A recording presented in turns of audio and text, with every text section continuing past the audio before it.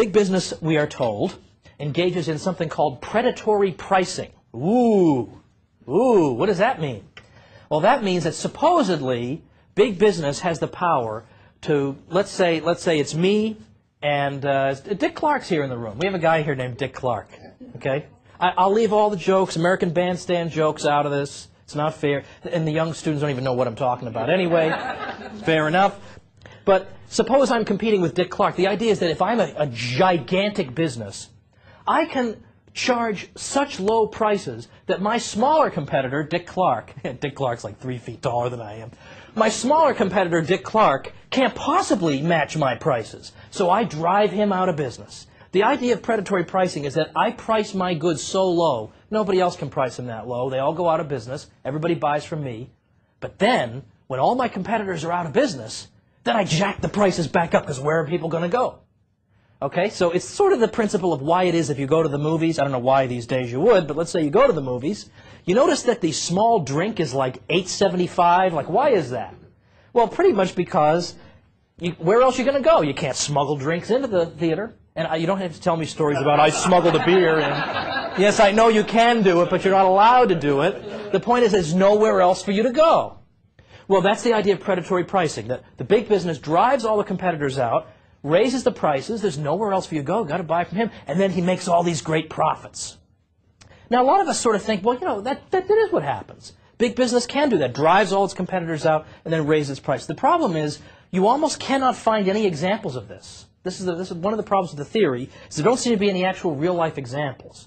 We've seen examples of businesses who lower their prices, but then we, but we don't really see examples of them then raising their prices back up. If Walmart tried to raise their prices back up, everybody would just go to Target, or they'd go to Kmart, or they'd order from Amazon. It's, it's, it's too difficult to, to do this. And even if you do manage to drive all your competitors out, new ones will pop up. If you start raising your prices again, new ones will pop up. So economists these days no longer believe in this. The general public believes in it because that's what we're told all the time. Big business wickedly drives everybody out of business by charging low prices. But economists really don't think that happens. And there's plenty of evidence to show that. And I want to give you a sort of cutesy little story to show what happens when you try this practice of uh, charging really, really low prices to drive out your competitors, and then you get to raise your prices back up again. One of my favorite stories from American business history, which I do include in, in the book, involves Herbert Dow. The name may ring a bell. He, runs the, he ran the Dow Chemical Company. He's dead now. He would be like 187 today or something. But he founded Dow Chemical around the turn of the century into the 20th century. And he's a great chemical genius. And he was a really, really hard worker. I mean, really hard worker. He would work 18 hours a day and then sleep at his chemical factory and then start up his day again. Now, sure, it meant he grew like a second head and a third arm from hanging around chemicals all day, but it was rewarding enough for him to see his business prosper. Now, what's the deal with this Herbert Dow? He develops uh, a particularly cheap way of producing a chemical none of us use or have heard of called bromine. Now, bromine to, to this day is still used in film developing, in dyes, it's used, it's used to sedate people. There are a variety of, of uses for bromine. But he could sell it really cheaply. So he's selling bromine in the U.S. and, you know, as you can, as you can guess, if you sell bromine in the U.S. for after a while, you get a little bored with it. Where else can I sell bromine? So he thinks, how about Europe? I'll sell chemicals in Europe. No problem, right? Except if you try to sell chemicals in Europe, there are a group of, there's a group of German chemical sellers who don't want anybody else selling in Europe. So when Herbert Dow shows up in Europe and says, hey, got cheap bromine for everybody, this cartel of German producers knocks on his door and says, oh, no, you do not. You don't sell anything in Europe. We're the German cartel. We sell the chemicals in Europe. You're not going to sell anything. And he said, well, you know, there's no law against it. I'm going to sell my chemicals here. And so the Germans got really upset. Who does this American upstart think he is? Well, they were selling bromine for 49 cents a pound. Herbert Dow's selling it for 36 cents. So, of course, everybody's buying from him and nobody's buying from this German cartel. They're going crazy. What are we going to do to this guy? So they think, we'll destroy him. We will sell bromine in the U.S. at a price he can't possibly match. And that'll drive him out of business. So they were going to try predatory pricing. So the German cartel starts selling bromine right in Herbert Dow's backyard in the U.S. for 27 cents a pound. 27 cents a pound. So what's, what's Herbert Dow going to do? He can't possibly match that price. Well, he's clever. he's one of the cleverest businessmen you've ever seen.